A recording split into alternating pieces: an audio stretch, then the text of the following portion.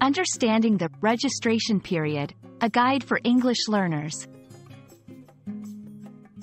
Hello, everyone. Welcome back to our channel, where we dive into the fascinating world of the English language. Today, we're going to unravel the meaning and use of the phrase, registration period. This term is widely used in various contexts, and understanding it can really help you navigate through situations like enrolling in courses, signing up for events, and much more. So, let's get started and explore this important phrase together. The registration period refers to a specific time frame during which individuals can sign up or enroll in something. This could be for classes at a university, a seminar, a workshop, or even a competition. The key here is the time frame aspect. It has a start date and an end date.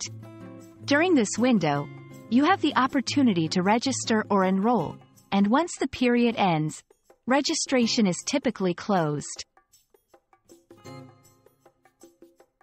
To give you a better understanding, let's look at some practical examples. Academic enrollment. Universities and schools often have a registration period at the beginning of a semester. During this time, students can choose and enroll in their desired courses. Events and conferences. For events like conferences or workshops, organizers will set a registration period for attendees to sign up, often offering early bird rates to encourage early registration. Competitions. Many competitions, be it in sports, arts, or other fields, have a registration period during which participants need to sign up to compete. Understanding these examples can help you better plan and take advantage of opportunities around you. The registration period is crucial for several reasons. Planning. It helps organizers plan effectively for the number of participants and manage resources accordingly. Opportunity. For individuals, it represents a window of opportunity to join or participate in something of interest.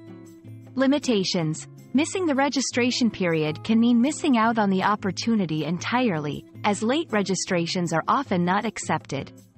Knowing the importance of this time frame can help you prioritize and manage your schedule to avoid missing out. Thank you for joining us today to explore the concept of the registration period. We hope this video has shed light on what it means and why it's such an important term to understand in various contexts.